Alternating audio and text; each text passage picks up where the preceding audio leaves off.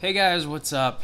Uh, today is the Y90 treatment for my intrahepatic cholangiocarcinoma.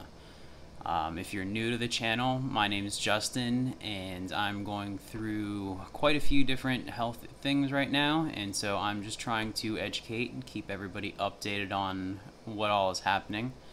Um, brief background, I've had two liver transplants earlier in my life, uh, one when I was 16, the second one was seven years later, and I am now 11 years out from my second transplant and was listed back in February of 2020 for a third transplant, and then come July of this year, they did an MRI and found a tumor in my bile ducts. Um, after some more testing and biopsies, they determined that it was ICCA, which stands for intrahepatic cholangiocarcinoma, and it is a cancer of the bile ducts and um, pretty difficult to treat um, as far as location and because of my medical background and history and things like that.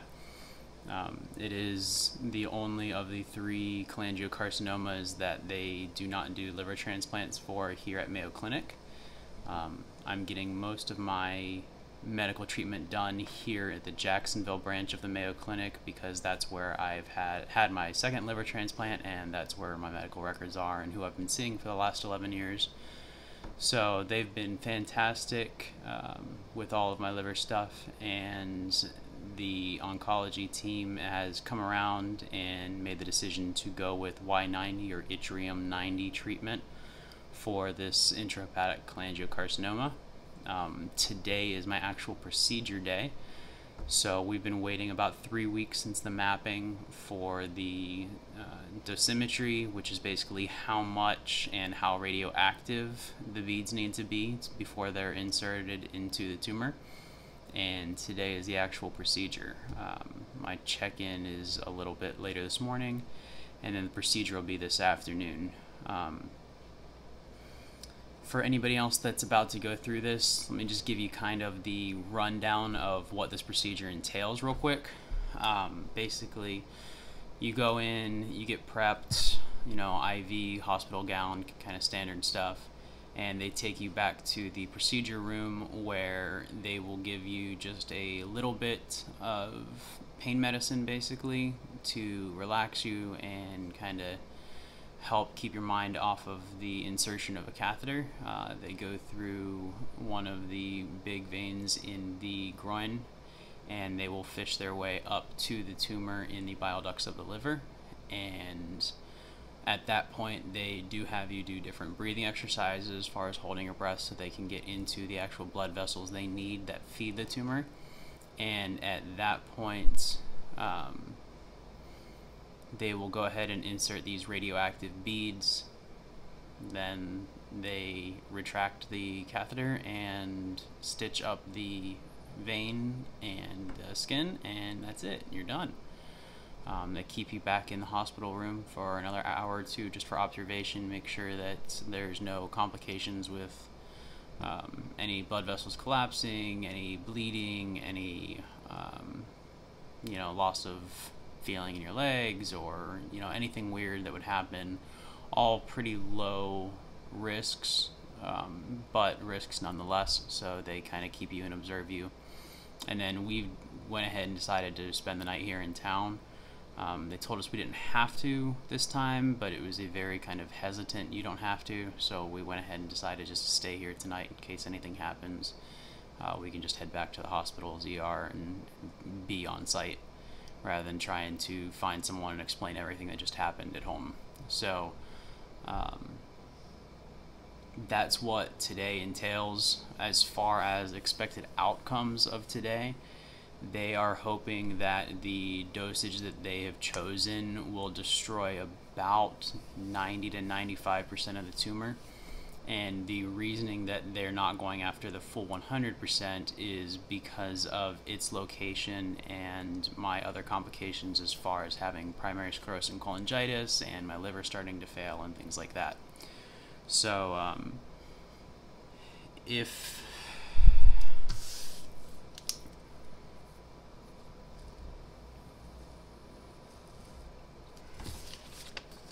that's the tumor.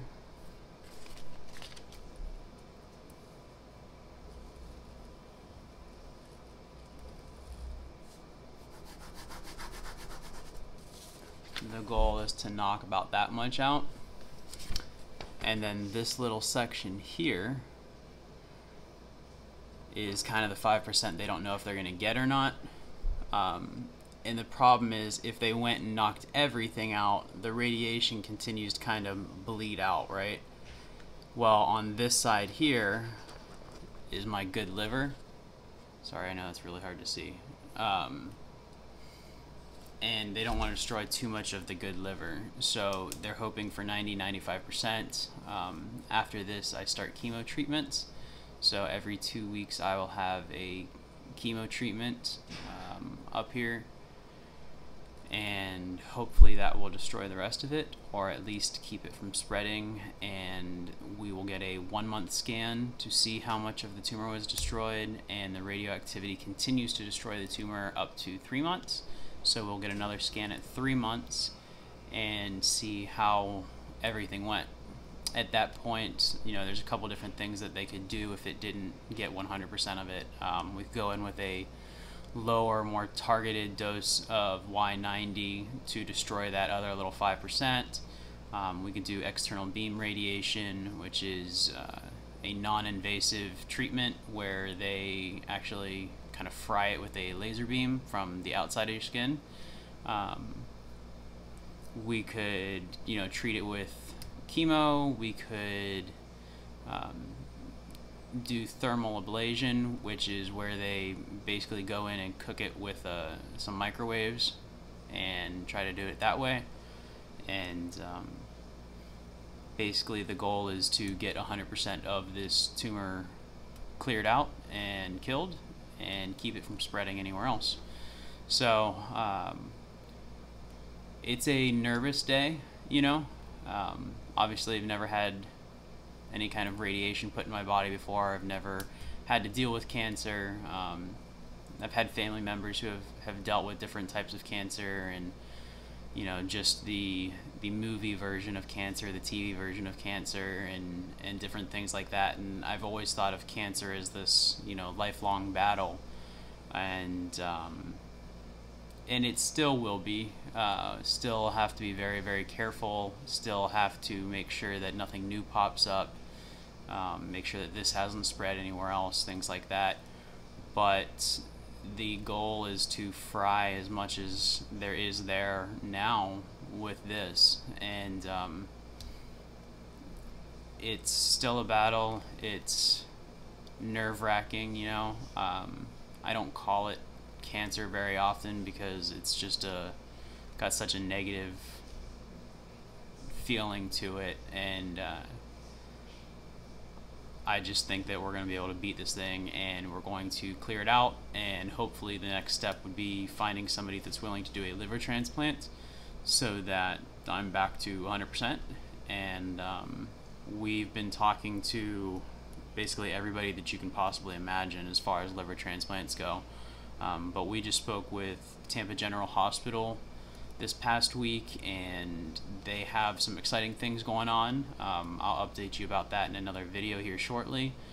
But yeah, I am two hours away from check in from this procedure, about four hours from it starting, and we'll see how things go. Thanks, guys.